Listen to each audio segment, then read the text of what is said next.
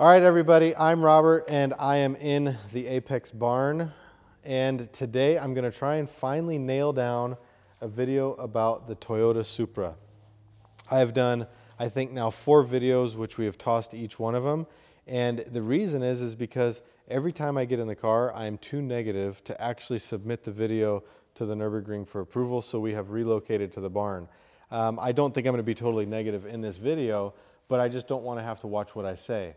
Uh, the reason is that what I'm going to say is how is it that in 2018-19, when this car is developed, do we have the technology to build a car, yet the engineers missed the boat by a mile? They absolutely missed the boat when they designed the suspension, especially in the rear end of this car. It's an absolute joke. Now, that's probably the most negative I'm going to be. Let's talk about facts. We bought this car originally and it was going to be Misha's daily driver. It was going to be a car that was owned by Apex or, or by me, and Misha was going to use it as his daily driver, and he was really excited about it. He was going to use it as a car like the Sub 7 Up was, where he built it, got parts, and did a lot of neat things, and took you guys on a ride so you could see the process of modifying the car. He got in a good relationship with Audi and was getting a lot of, uh, what would you call them, um, press cars and things like that that he was able to drive for some time on in. And he said, you know what, Robert, I think that I probably don't need this car. Why don't we take it and, and, and we can put it in the Apex rental fleet? So, um, you know, of course I said, well, yeah, let's do it. That sounds like a really cool idea. So the car got delivered. We went down and picked it up together. And that was the day that he announced to, to basically all of his social media that, oh, yeah, you know that we were getting the car, but the purpose of it has changed and it's going to be an Apex rental car now. So we were really excited for it to be an Apex rental car.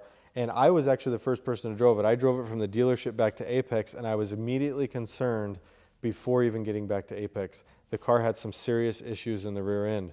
When you would lift off, entering a turn, coming out of a turn, any point, the rear end would start moving around. And I said, okay, this can be a problem. So, of course, the first thing I did was take it out on the track, and my gosh, was it terrible. Anytime that you go into a transition from loading the front end to the rear end, the back end would actually change directions. Uh, it was basically tracking and sometimes it would point you left, sometimes it would point you right, but it was the worst feeling you could imagine. And it didn't matter where you did it. Even going over bumps and crests, even as you were going straight, it would do it. Just that transition would make the car unsettle. There's a lot of things that can cause this.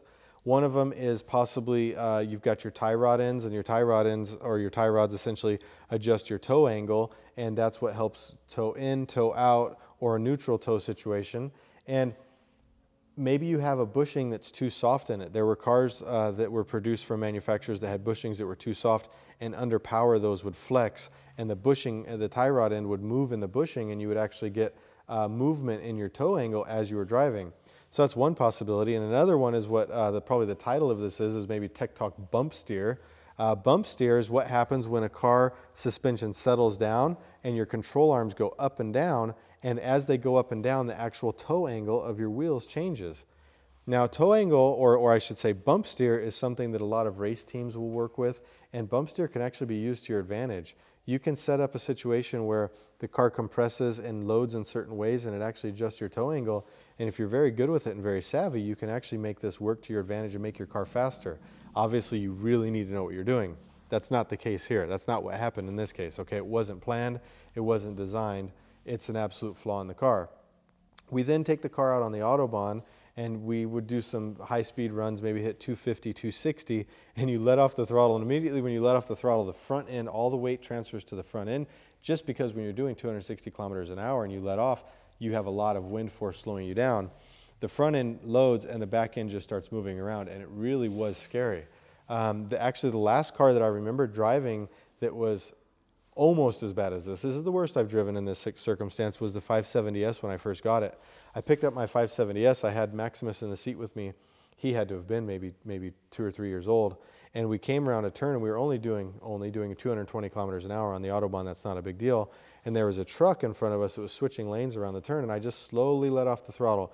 And as I slowly let off the throttle, the back end just started kind of swinging out. We weren't in a major drift, but it was definitely a very eerie feeling from a new car. So this is reminding me heavily of that, but was actually worse than that.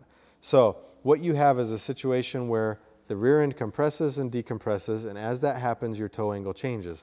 What we can do is we can come over here. I've got some wheels. We'll step over to this side, and we will look at these wheels right here, okay? You guys may have seen my Pista video where I talk about what I prefer in terms of front toe and, and how it responds to the car. Sometimes you can do different adjustments with toe angle to make the car turn in very responsive, assuming this is the front of the car and this is the back of the car. Uh, you can do toe in and that will actually slow down the responsiveness of the, of, of the turn in and everything like that. And you would never go neutral. Neutral is a situation where both of your tires are running perfectly parallel. This is the same axle, so let's say we're looking at the front of the car right now. They're running perfectly parallel. This car is going to track and move around. It's going to follow the road. It's not really uh, in control of itself, if you would. You can go to toe in, and that's going to cause a drag, and that's going to make the wheels actually drive into each other ultimately. And as these wheels drive into each other, the axle's holding them straight, and so that's scrubbing and making the car forcefully drive in a straight line. The same thing happens when you have toe out. The wheels are actually driving apart from each other. Obviously, this is a very dramatic scenario, but the wheels are actually pulling apart from each other and your suspension is holding them in place. So they're actually scrubbing. As they're driving, they're scrubbing, and that's keeping the car going in the same direction. The worst thing that you can have is let's just say you've got, right now, since we're set up in toe out, and then all of a sudden the suspension compresses. And as the geometry of the suspension compresses, all of a sudden you go from toe out to toe in, or from toe in back to toe out. And then when the tire, when the suspension raises back up, then it goes back again. What happens is at that middle point, when you're transitioning, the car starts moving directions because it no longer has that friction. It no longer has that uh, toe angle leading the car and keeping things stable. And that is what's happening on the back of, of the Supra. As it bounces, it starts adjusting. So as you see, as this movement is happening, you get a very insecure situation. In my opinion, the worst thing that you can have is bump steer that goes beyond zero, toe in to toe out, toe out to toe in. It is almost impossible or very difficult to have a true situation where there's no bump steer at all. So a little bit of, a little bit of or a toe angle change during your, your, your suspension travel is acceptable, that's okay. However, you really shouldn't be crossing that zero threshold and going back and forth, and that's what makes this car so unstable. So originally, like I said, I thought that maybe we could fix it by putting uniballs, a, a solid bushing on the uh, tie rod ends. Well, that didn't solve it. Uh, we obviously had several plans for this car in terms of a JRZ suspension um, and, and, different things like that. So we went ahead with those uh, plans because we wanted to continue improving the car as it was. And it was really unfortunate because every single time I got in the car, if it was an alignment, okay, the alignment made it better, but it didn't fix it because the rear end is still moving around. Wow, this the suspension feels amazing. You get the car loaded up in a turn and you get it fully loaded and everything's set and my gosh, the balance is unreal. The car feels so cool when it's loaded up. You get out of the turn, you apply the gas, fine, it's just powering through and then you hit the brakes and it moves around. So each iteration, each modification that we did, AP brakes, uh, PFC brake discs, we've got the Nankang AR-1s with the ProTrack wheels, the JRZ, every single thing you saw how much those modifications improve the car, but you've got this back end still sitting here that just didn't, it's just not coming around. So obviously we replaced the, the bushings and, the, and, and everything in the tie rod ends. That didn't fix it. All along, even if you go back to some of Misha's first videos, I was saying that as the car compresses, the toe angle changes, and that's the problem. All along, that was always prevalent and, and, and really was the issue. But unfortunately, during this time, we didn't have the parts to fix it, and we, we knew what the problem was, but we couldn't fix it. So it was just something that just constantly made me angry. This is a reason why we actually took it out of the rental fleet because I said, if this car continues on the track, it's going to get crashed. This car will not drive a season on track with people who want to come and experience a Supra, and it's not going to make it out of it. It's going to eventually, the back end's going to point in the wrong direction, and someone's going to end up in the wall, and it's too nice of a car for that to have happen. So along the ways, you guys know our friend Fabi. He's around all the time. He loves cars, and he was telling me, Robert, I'm thinking about buying a Supra. And I said, you know what? I would probably not do that. I would save your money. Um, I've got a Supra. If it's something you really want to try out, you're welcome to use it. Go ahead and run it for a year, uh, however long you want to, and you can get you can form your own opinion on it. But I really hate for you to go buy one, lose your money, and not be happy with it. So he's taken the car over and he's driving it actually, and he's using it, and he's also sharing in my frustration with it. And the next step that we are working on is we've been doing a lot of research. There have been some companies that have come out with new tie rod ends, in fact, complete control arm sets and everything. And we're looking at which one we want to go with because that's simply the only thing that's going to take uh, and fix this car.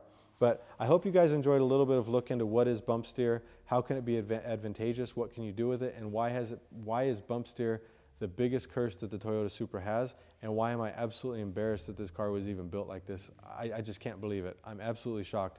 The lower the car goes, the worse it gets. That is actually a common problem with, uh, with certain suspensions, but to, to build a car with this geometry from the factory is just, it's mind boggling. So hopefully this doesn't happen again. Hopefully they can make a new cradle, a new, a new geometry and fix future cars. But the way that it is right now, um, I suspect that you're going to see some cars that are going to have some problems. I don't know how YouTube reviews and car reviews haven't pointed this out before. Um, I've now seen three different cars and each of the cars feels exactly the same way. I actually had a very well respected performance shop from the area come to me the other day and asked me if they could drive my Supra. And I said, Why do you want to do that? They said, Because we are working on a customer's car and the back end just doesn't feel right. I said, Don't take mine, it's probably worse. That's the simple fact of the matter. They appreciated my honesty and said, Thank you, Robert. We probably don't need to drive it. We're having the same problem. And I explained to them the only solution is going to be new tie rod ends, complete uh, angles, uh, uh, adjustment of the geometry from the rear end, and that's the only solution there is. So that's going to be what we do next. We will fix this. We will make the car work because once it works, I think it's going to be an awesome car. The balance is going to be fantastic under braking. The car feels so good. And uh, I do look forward to that day, but until then, kind of bummed. Anyways, catch you guys later.